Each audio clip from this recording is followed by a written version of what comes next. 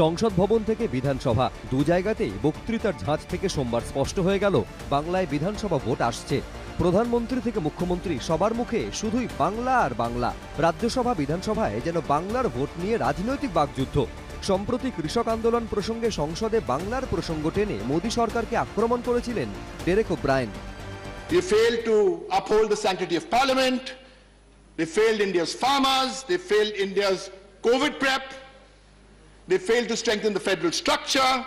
They failed India's youth. They failed India's women. They failed India's jobs. They failed India's economy.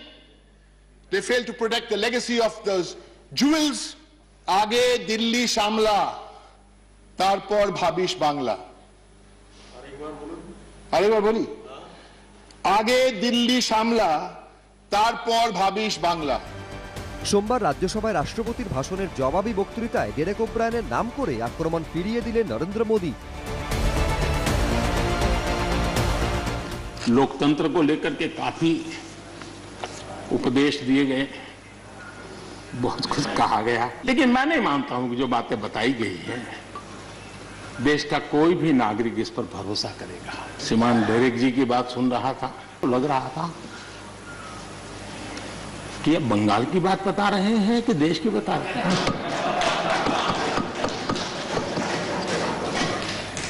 स्वाभाविक है चौबीसों घंटे वही देखते हैं वही सुनते हैं तो वही बात शायद गलती से यहाँ बता दी होगी রবিবার হলদিয়ায় দাঁড়িয়ে মমতা বন্দ্যোপাধ্যায়কে সরাসরি আক্রমণ করেছিলেন নরেন্দ্র মোদী लोगों ने भरोसा किया बंगाल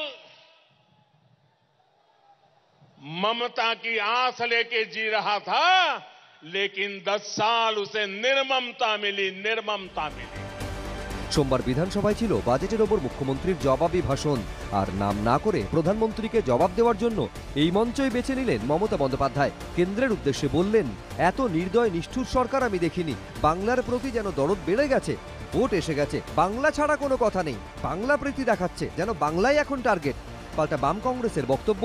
নরেন্দ্র মোদী ও মমতা বন্দ্যোপাধ্যায়ের মুখে বাক স্বাধীনতার কথা বেমানান। দেশের বাকস্বাধীনতা মানুষের নেই সেটা আপনি দিল্লির সীমান্ত কৃষকদের বিক্ষোভ দেখলেই বুঝতে পারছেন। রাস্তায় গজাল পুঁতে দেওয়া হচ্ছে। দেশের মানুষের বাকস্বাধীনতা কেড়ে নিতে চাইছে মোদিজি। কিন্তু এই কথাটা বলার অধিকার ডেরেক বাবুদের নেই। একই রকম বাংলায় মানুষের অধিকার নেই কথা বলার। দুজনার কথাই মিলে যাচ্ছে। ওখানেও বাক স্বাধীনতা নেই, এখানেও বাক স্বাধীনতা নেই। সব মিলিয়ে ভোট যত এগিয়ে আসছে, ততই চড়ছে বাকযুদ্ধ। আশাবুল হোসেন ও সন্দীপ সরকার, এবিপি আনন্দ।